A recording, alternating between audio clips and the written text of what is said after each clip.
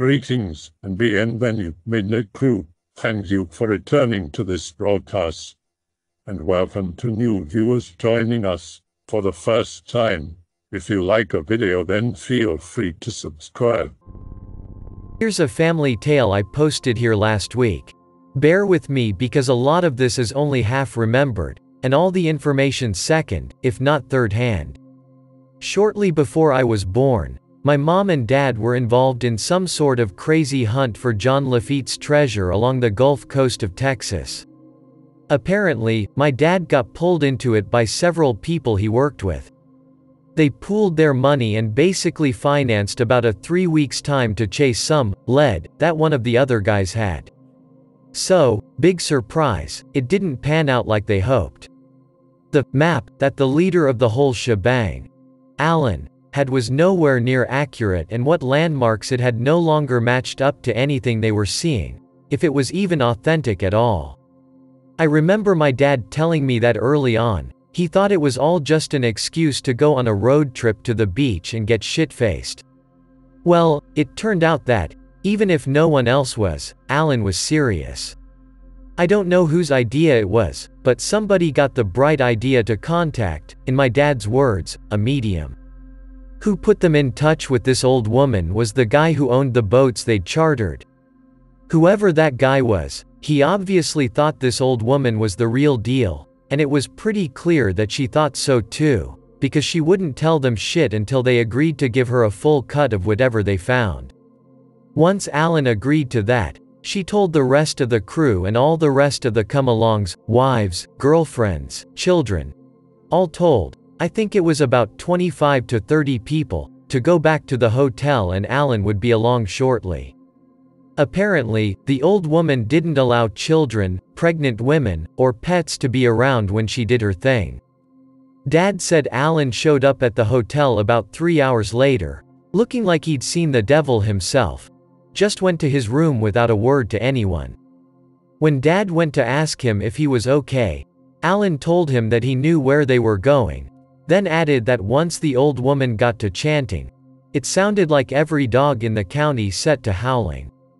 The next morning, Alan got everyone together at breakfast and told them that the place they were looking for was about another 30 miles down the coast, and that he'd been told to pick six men to come with him and everyone else was to stay behind. My dad was one of the seven that went on that dig.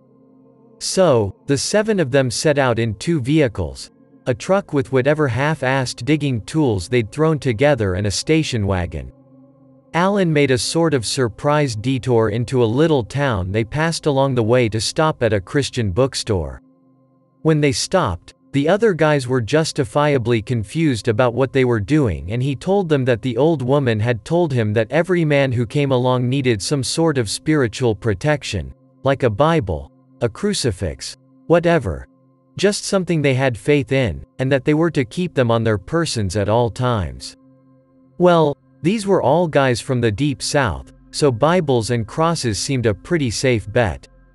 After Alan made sure that everybody had some form of protection, they set off again. When asked if they should be watching for landmarks, Alan just told them that when they got close, they'd all know. So off they drove, the day rainy and overcast with a big storm brewing out in the Gulf. It was a grove of glowing trees that they saw. I don't know who was the first to spot them, but once Alan saw them, he was convinced. A little grove of trees sitting back maybe half a mile from the beach, glowing with foxfire.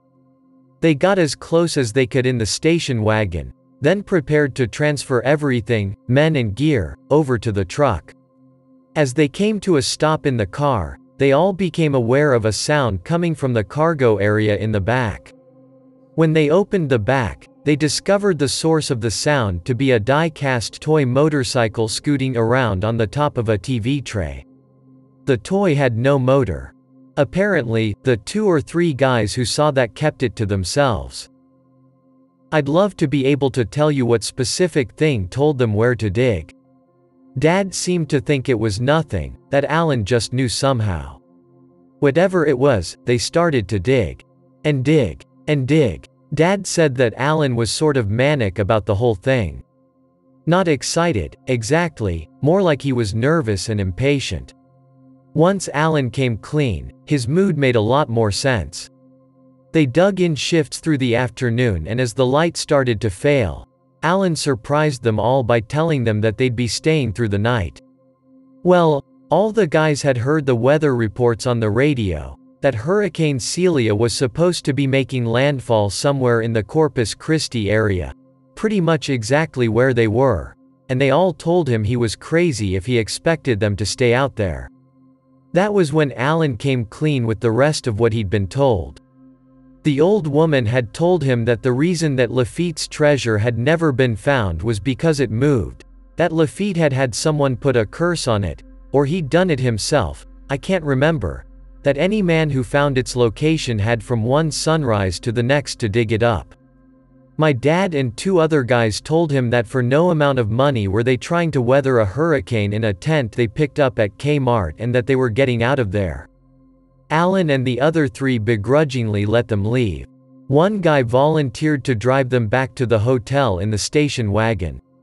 The other three stayed right there and continued to dig their asses off. I should probably pause at this point to tell you a little something about the hole and the men digging it. When we think of buried pirate treasure, we tend to think of an oak chest buried four or five feet deep in the sand somewhere. That's exactly not the sort of hole these men were digging at Alan's instruction. No, this was more an impromptu mineshaft into the side of a small rise. These guys all worked in the mining industry and had either grown up listening to their father's stories about how they used to make their tunnels in the old days or else had dug a few themselves. One of the men who stayed behind definitely had. He was the oldest of the crew, somewhere in his 50s among this crew of 20 somethings, and he'd graduated from working in the mines to a desk job. He'd listened to Alan's description of what they needed to do and sent the man he deemed most worthless after a list of supplies. As they dug, this old man saw signs that he was sure meant there had been a shaft filled in there before. My father saw some of this evidence shards of old, rotted timber, primitive looking spikes rusted down to almost nothing. These finds really fueled their hopes that they were chasing more than foxfire and a crazy old woman's word, so the four that remained dug just as fast as the old man would allow them to. By that afternoon, they'd sunk a shaft about two feet high, three feet wide, and about nine feet deep into the hillside, all the time thinking that next strike of the pick would meet with that satisfying thunk of metal biting into wood. It was around that time that Hurricane Celia came ashore. The winds and the rain had been getting steadily worse throughout the day. My father and the rest of the men who opted out of insanity had made it back to the hotel around 2 that afternoon. They tried to convince the owner of the station wagon to stay, but he was hearing none of it, and it's through him that my father heard most of the rest of this story. The rain was coming down in solid sheets by then, and had he been on the road in anything other than a cool two tons of rolling iron, he'd have probably not made it back, but make it back he did. He'd no more than pulled up than two of the remaining three men at the dig site piled into the car and told him to get them the hell out of there. In the almost two hours he'd been gone, the old man and worthless, I think, had decided against trying to stick things out. According to them, Alan came unglued. He told them that they could all go to hell as far as he was concerned and that if nobody cared about the money, he'd stay and keep it all for himself. Wagon Man decided he'd make an attempt of his own to reason with Alan, but after Alan brandished a shovel at him and told him to get his chicken shit ass off his dig, that was all it took to decide Wagon Man that the other two had the right idea, so they left to find whatever shelter they could. It was an old couple, the owners of the property for all I know, who took them in for the night. As you'd probably guess, they were hesitant to tell the old folks what they were up to. It was the old miner who finally came clean. The old couple told them that they were damned fools to be off chasing after treasure in a hurricane, and other than the terrible storm, the night passed without incident. No one will ever know for sure what happened to Alan that night. The rest of this comes from Wagon Man and Old Miner as related to me by my father. At first light, Wagon Man and Old Miner set back out in the station wagon to find Alan, picking their way through the debris as best they could. When they arrived at the dig, they knew it was going to be bad, trees down all over the place. They parked the wagon and made their way up through the trees on foot. As they reached the camp, the first thing they saw was the pickup crushed beneath a tree. They hurdled downed trees and ran to it, fearful of what they'd find inside. It was empty. None of the tents were anywhere to be seen. It was then that they turned their attention to the shaft. Old Miner yanked the truck's glove box open, pulled out a flashlight, and told Wagon Man to wait by the truck. He knelt down before the hole and shined the light up inside. After a moment, he called out to Alan twice before reaching inside and beginning to tug. Come help me get him out, he said. As Wagon Man approached, he saw something laying in the dirt that the other man had missed a glint of gold, Alan's crucifix and the broken necklace on which it had hung. What they pulled out of that hole was barely recognizable as their friend. His legs, back, and face had all been horribly clawed, as if something had forced its way up between his back and the low ceiling of the tunnel. Despite the lacerations to his face, his eyes were intact and bulging with terror and pain. Old Miner told the younger man to go fetch the authorities and break the news to the rest of the crew, and under no circumstances was he to let Alan's girlfriend come out and see him like this. According to my dad, Old Miner was a real class act, really took charge and acted as a sort of shield for the rest of the young treasure hunters. After the police were done questioning him, they pretty much gave everyone else involved only the briefest of hassles before letting them get on the road back home. My dad sent my mother on back with the rest and chose to stay behind with the old man till some of Alan's family could arrive to claim the body. The official cause of death was listed as shock brought on by animal attack, as his injuries, though horrible, weren't inflicted in areas that would have proven fatal. The old man, though tight-lipped about what he thought, seemed to have other ideas.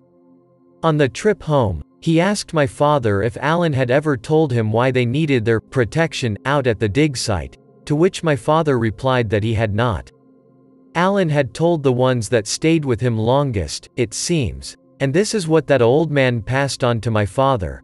That old witch told him we should keep our gods close, else old John gon come show you all the horrors of hell. I hope that you enjoyed tonight's broadcast. If you enjoyed tonight's story, then please subscribe to the channel as more green texts will appear daily. A new broadcast will appear when the clock strikes midnight Central Time.